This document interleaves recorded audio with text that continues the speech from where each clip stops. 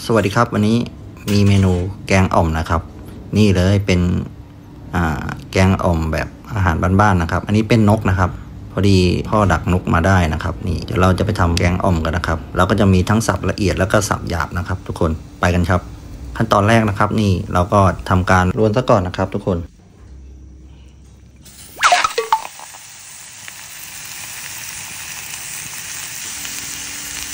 ครับเติมน้ำนะครับ ล้วนก็ล้วนให้สุกเลยนะครับ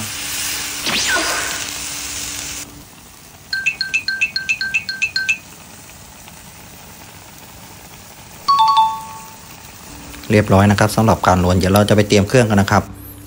เครื่องของเราก็จะมีนะครับ ตะไคร้ข่านะครับ หอมแดงกระเทียมแล้วก็ใบมะกรูดหั่นฝอยนะครับ เตรียมตัวโขลกเลยนะครับ โขลกก็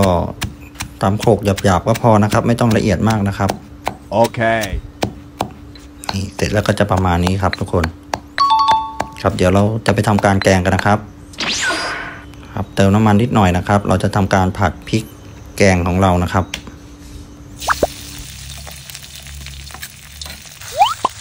ครับหลังจากเราผัดพริกแกงหอมได้ที่แล้วนะครับ ต่อไปนะครับปรุงรสนะครับ อันนี้ก็จะเป็นน้ำปลานะครับ ครับแล้วก็ตามด้วยเนื้อที่เราลวนไว้นะครับ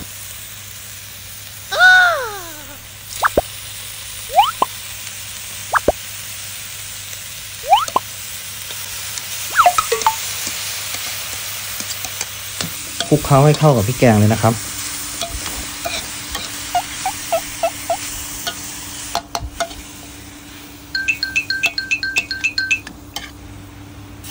ครับต่อไปนะครับ เติมน้ำล้างครกนิดหน่อยนะครับ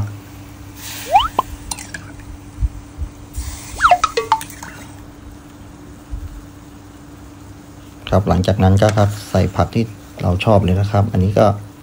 จะมีมะเขือนะครับ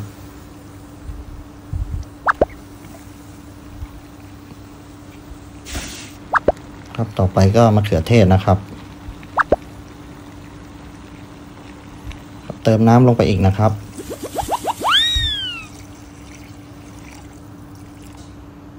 ครับปรุงรสนะครับ อันนี้ก็จะเป็นผงนัวนะครับ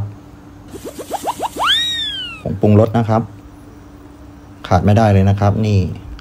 น้ำปลาร้านะครับ ตามด้วยผักชีลาวและต้นหอมนะครับ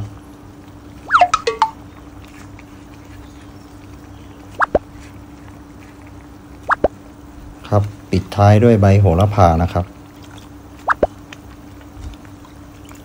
รสชาติก็ปรุงตามชอบเลยนะครับ ครับเสร็จเป็นที่เรียบร้อยนะครับสำหรับแกงอ่อมนกนะครับครับสำหรับเมนูหน้านะครับจะเป็นเมนูอะไรนะครับ คอยติดตามรับชมนะครับสำหรับคลิปนี้นะครับ ขอลาตัวไปก่อนนะครับ แล้วพบกันใหม่ครับ สวัสดีครับ